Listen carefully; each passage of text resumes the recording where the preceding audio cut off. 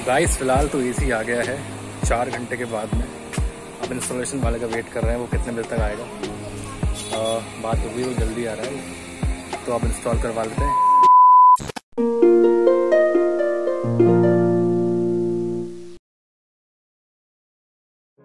Good morning and welcome to my blog I hope कि आप लोग अच्छे होंगे। तो गाइस चलिए शुरू करते हैं आज का ब्लॉग और आज का सीन ये है। With the grace of God आज फाइनली पापा मम्मी के रूम में एसी लग रहा है। और अभी मैं और पापा जितनी भी फॉर्मेलिटीज़ हैं, दुकान पे करके आ चुके हैं ब्लू स्टार का एसी फाइनल करा है। और Daikin five star dual inverter AC पड़ा है। और बढ़िया एसी मिल गया। और आज से ही ऑफ़र शुरू हुआ है कि पाँच साल तक उसमें कोई भी दिक्कत आएगी तो फ्री ऑफ़ कॉस्ट चेंज हो जाएगा। और कंप्रेसर की उसमें दस साल की वारंटी भी है। तो अभी एसी की डिलीवरी भी होने वाली है। एसी वाला आता ही होगा प्लस इंसुलेशन भी, भी हैंड टू हैंड हो जाएगा। चलिए आपको दिखाते हैं फिर। A few moments later. तो गाइस फ़िलहाल एसी परचेज हुए तीन घंटे हो चुके हैं। पौने बारह बजे एसी पूरा फाइनल कर दिया था। और अब बज रहे हैं पौने तीन। तीन घंटे बीत चुके हैं लेकिन एसी वाला अभी तक डिलीवरी करने नहीं आया है। दुकान मुश्किल से पाँच मिनट की दूरी पर है घर से। लेकिन जो दुकान वाले को मैं चार पाँच बार फ़ोन लगा चुका हूँ। ठीक है? अब वो बोल रहा है कि भैया वो निकल चुका है डिलीवरी लेके निकल चुका है। अब पता नहीं कब तक आएगा। अब इस वजह से मैं रिहर्सल पर लेट हो गया हूँ, क्योंकि आज हमारा जो रिहर्सल का कॉल टाइम है, वो ढाई बजे है। और मैंने बोल दिया भैया से ग्रुप में कि मैं भैया थोड़ा लेट हो जाऊँगा। अब देखो कब तक आता है एसी वाला यार। अब वो एसी वाला जल्दी आए तो फिर इंस्टॉलेशन करवा के मैं भी निकलूँ फिर। मैं भी इस चीज़ का फिर वेट कर रहा हूँ कि वो जल्दी आए यार। अब जब भी कोई घर के सामने से रिक्शे वाला है, कोई ई रिक्शा वाला निकल रहा है तो मम्मी पापा ये बोल रहे हैं, जब भाग के देख के वो आ गया वो रिक्शा इसी लेके।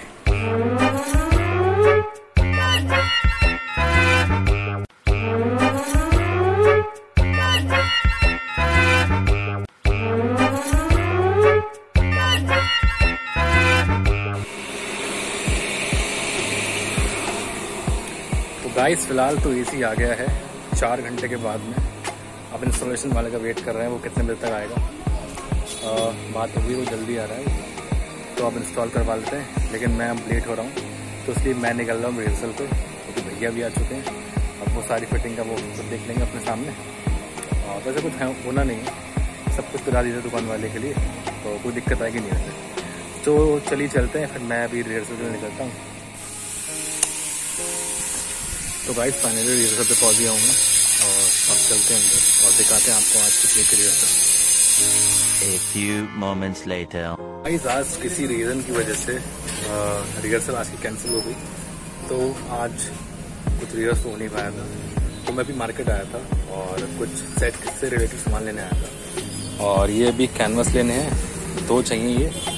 और साथ में बाँस पूछना। है जो टेंट में यूज़ होता है बाँस उसका रेडी वेडी कन्फर्म करना है। तो अभी कैनवस लेते हैं, फिर चलते हैं बाँस के रेट पता करते हैं नाटक वाले हम इसलिए बोल रहे हैं यार फोर नाइन्टी में अभी लगवा लो उसका दोनों को यार। और आप चौदह तारीख को नाटक देखने आना हमारे यार, आपके लिए हम नाटक फ्री कर देंगे। ठीक है ना? मतलब आपके लिए टिकट फ्री कर देंगे। आप करवा लो भैया, ठीक है?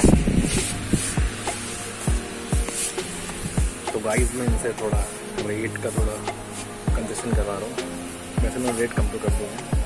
लेकिन और और देख सकता हूँ कितना हो फोर नाइन्टी में दोनों की बात कर रहा हूँ, क्योंकि बजट थोड़ा कम है और उसमें एडजस्ट करना है। देखते हैं क्या होता है। फोर नाइन्टी मैंने बोला तो है। वैसे इन्होंने तीन सौ बारह का था, वो दो सौ अस्सी का लगा लिया है।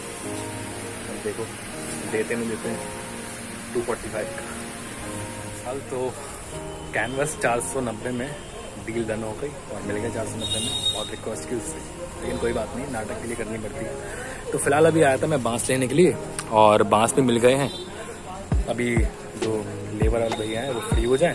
उसके बाद में बारह फिट के हमें बारह बाँस चाहिए। उसको काट के छः फिट के कर लेंगे। तो हमें एक्चुअली टेंट बनाना है उसका। तो फ्रेम बना के तब टेंट बनाएँगे? तो भैया फ्री हो जाए, फिर उसको कटवा के, रिक्शे पे लगवा के, फिर चलते हैं।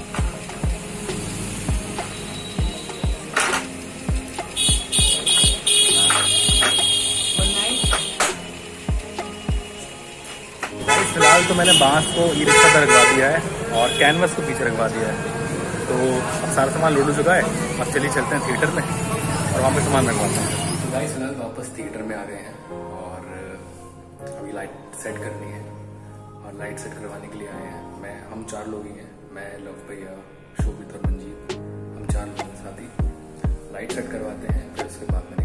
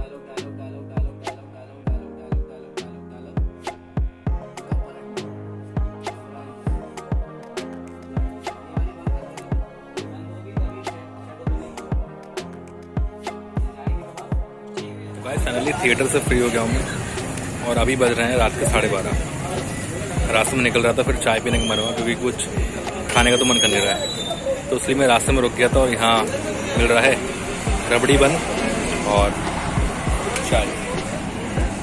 रबड़ी बन खाते हैं, चाय खाते हैं, फिर चलते हैं घर पे, क्योंकि घर से भी दो तीन बार फ़ोन आ चुका है। पापा को और दीदी का फ़ोन आ गया घर से। कि आज लाइट सेट होने में थोड़ा टाइम लग गया, इसी वजह से थोड़ा लेट हो गए थे। तो अब खा पी के चलते हैं घर पे। फिर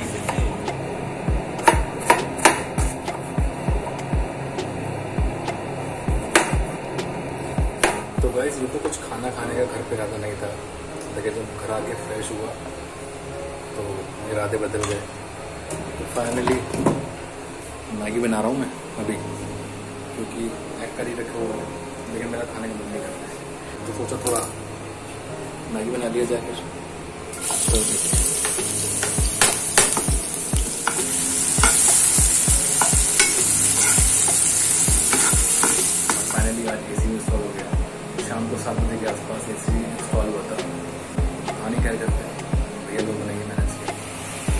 फ़िलहाल मैगी तो बन जाएगी लास्ट में थोड़ा सा चीज़ डाल दे रहे हैं। चीज़ से बहुत बढ़िया टेस्ट है सिम पे रख देंगे। गैस बंद कर दे रहे हैं, काम कर रहे हैं। तो गाइस फाइनली हमारी चीज़ मैगी तैयार हो गई है। और मैगी खाते हैं। और इस ब्लॉग को करते हैं पे एंड एसी के दर्शन कराऊँगा मैं आपको नेक्स्ट ब्लॉग क्योंकि ब्लॉग काफ़ी लंबा हो चुका है। तो आई होप आपको आज का ब्लॉग पसंद आया होगा। पसंद आया तो लाइक कीजिए। चैनल पर सब्सक्राइब कीजिए। मिलते हैं जल्दी नेक्स्ट ब्लॉग में।